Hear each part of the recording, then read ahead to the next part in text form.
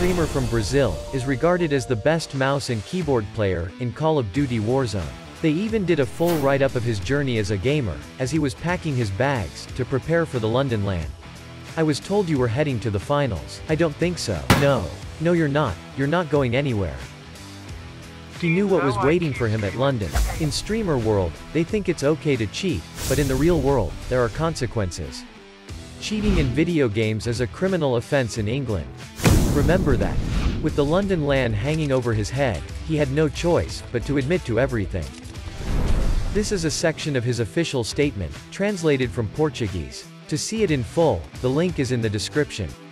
Where he discusses buying motherboards and chats about his Activision contacts. This week I got permanently banned on my main account for multiple logins and game data manipulation. I am already taking legal action, and my lawyers will stop slander against me. I couldn't play because I already have a hardware ID ban. The London LAN is coming up, and I have three ranked accounts, and every one of them now has a hardware ID ban.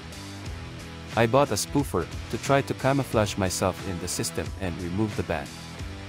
This didn't work, and Ricochet found me out. I could have gone to play in London with another ID, because the tickets were already in our hands, including all the paperwork, and my hotel was all arranged and everything. This cheater is no stranger to playing on a stage. However, these so-called, quote-unquote, LAN events, were on a PC, and not console. Questions must now be asked, was this event even legitimate? Did he also use cheats installed on a flash drive, and simply clean the PC when he was finished? We have seen this before when Optic India were competing.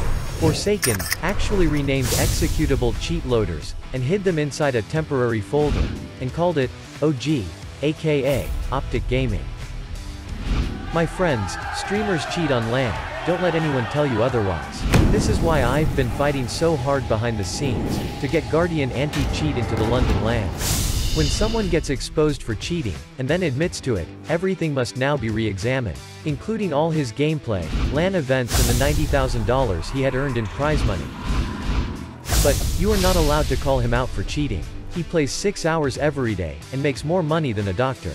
He demands everyone to stop hating on him, and he states he won't touch the subject again. The Brazilian Warzone player has removed all his videos from Twitch, except one, and that's from almost two weeks ago. However, you have to now subscribe to watch it. This is something I couldn't do. Remember, I catch rats, not feed them. He claims to own a website that sells Call of Duty accounts. However, a quick look at his partner website and lo and behold, after selecting Call of Duty, streamers are able to purchase anti-recoil scripts with rapid fire. There was an entire selection of scripts, including multiple macros to eliminate recoil. Accounts with everything unlocked. Looking at the macro script, it completely eliminates all recoil. This is how mouse and keyboard players have no recoil, such as Breadman, Natasha and Symfuhny. Please do not forget, to like this video, it really does help spread its reach on YouTube. If you think my content is worthy of your subscription, hit that subscribe button below, to show your support. Here is a montage he made from his own channel,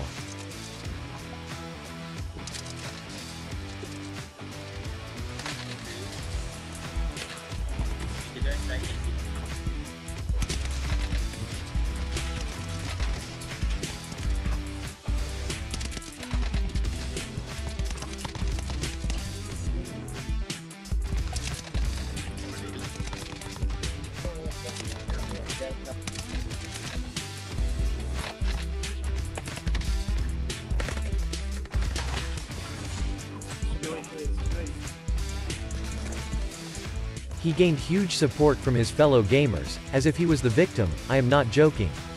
Here are a few of the comments of encouragement. How unfortunate Corolho. Move on from this. We had our indifference and friction in the past, but rooting against it was never a possibility. I was very happy for your rating, but got right straight with crooked lines, so focus on the future. Man, you are 100% transparent, the commendable attitude. It deserves higher flights just for that. I only heard about you at camps, but now you've gained a spectator. you will be able to turn around. Welcome to 2023, Woke Zone. I came across accounts that are permanently banned from Warzone. But, I don't trust any of them. I have evidence of this streamer, even playing with teams, that have replaced them for the London finals, going back to Caldera. The entire thing just stinks. One gamer from Brazil, made an excellent point, when he stated that 90% of the players in Brazil cheat, but they wouldn't dare do this in the finals, which is why the competition level was terrible, because they couldn't play with their little robots. Did you really think you could try and steal $1.2 million? You're not going anywhere, and wipe that smirk off your face. You will join your friends for disqualification. How dare you? It's written all over your face. Tell me, what's the secret that you've been hiding? And who's gonna take my place? I should have seen it coming. I should have read the signs anyway. I guess it's over. Can't believe